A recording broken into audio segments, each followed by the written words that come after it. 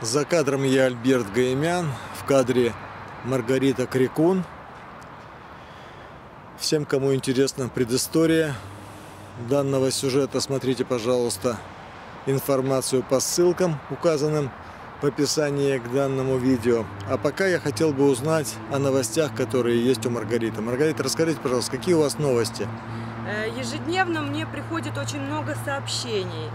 А, И вот даже сейчас, пока мы разговариваем, мне пришли сообщения о том, а, что люди а, ждали своей очереди с обеда. Они приехали к детской инфекционной больнице на скорой.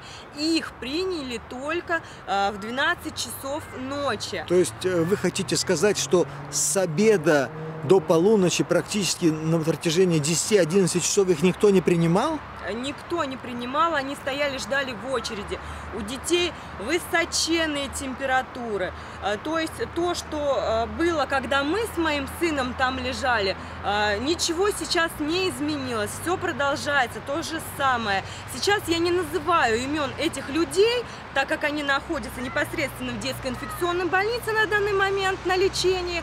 Но когда они оттуда выпишутся, они, не, они присоединятся к нам.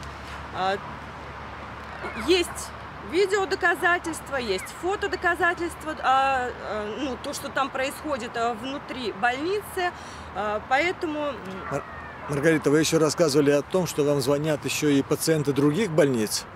звонят и пациенты других больниц, также беспорядок а, в а, краевой а, больни... ЗИП, она называется, оттуда мне звонили, А, Больница скорой помощи.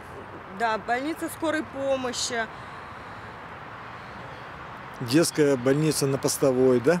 Да, да, да, оттуда еще звонят. Ну, в общем-то, а, все больницы, которые есть в городе, в принципе, а, я хочу сказать, что беспорядок везде.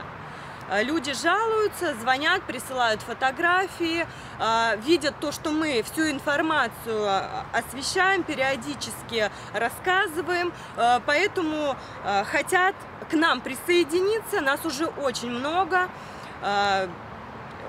Как бы вот присылают видео, фотоматериалы и пишут свои истории. Ну, скажу от себя так, что в принципе то расследование, которое мы начали, уже действительно набирает обороты и собирается очень много доказательств тому, что, к сожалению, кубанские врачи, многие не добросовестно исполняют свои обязанности. Я думаю, что скоро мы сможем все это дело аргументировать.